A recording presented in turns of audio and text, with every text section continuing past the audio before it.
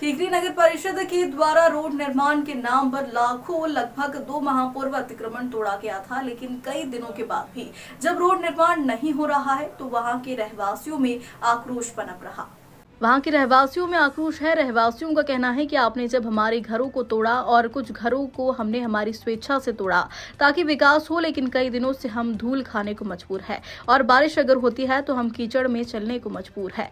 वही आने वाला समय बारिश का है। घर हमारे तोड़ दिए गए।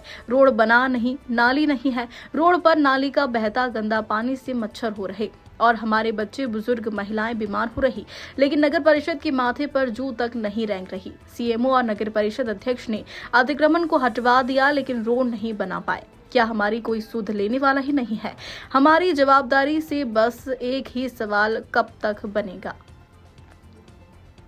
बड़वानी से जिला ब्यूरो सुरेंद्र वर्मा की रिपोर्ट। क्या नाम है आपका? डॉक्टर जावेद खान अल्पसंख्यक प्रकोष्ठ जिला अध्यक्ष कांग्रेस कहाँ रहते हैं आप? यहीं ठीक है नहीं तो मोहल्ले में। ये क्या क्या समस्या है आप लोगों को? समस्या ये है कि दो महीने पहले अतिक्रमण के नाम पर एक मुहिम चलाई अतिक्रमण से लोगों घर तोड़ दिए गए और आज दो महीने पूरे हो गए अभी तक ना रोड का निर्माण हुआ, ना नाली का निर्माण हुआ।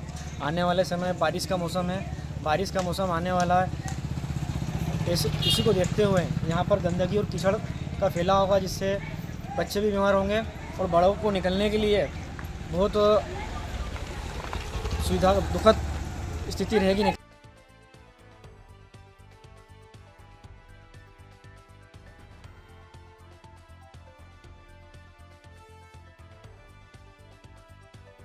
क्या नाम है आपका? लतीफ़ खान। कहाँ रहते हैं आप?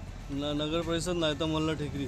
क्या क्या समस्या है भैया आपको? हमारी समस्या रोड की है जो कि कई महीनों से हमारे मकान टूट चुके हैं लेकिन इस पर नगर परिषद कोई ध्यान नहीं दे रही और इनके नगर परिषद के सिर पर जू तक रेंग नहीं रही। लेकिन ये कार्य अब पूरा बंद पड़ा हुआ है। इसको न तो कार्य कर रहे हैं और सुरक्षित जो तोड़े गए मकान है आप देख सकते हैं पानी जब गिरता है तो बारिश से नालियाँ ख़राब हो गई है और बच्चे बूढ़े सब परेशान होते हैं कहीं गिर जाते हैं एक्सीडेंट हो रहे हैं लेकिन नगर परिषद के सही पर जू तक नहीं रेंग रही है। आगे आगे क्या कहना चाहोगे? मैं आगे आस, ऐसे आशा करता हूँ कि इसको कार्य को जल्दी से कराया जाए या तो नगर परिषद बंद करे इसको या कब करेगी इसका कोई निश्चित समय नहीं है।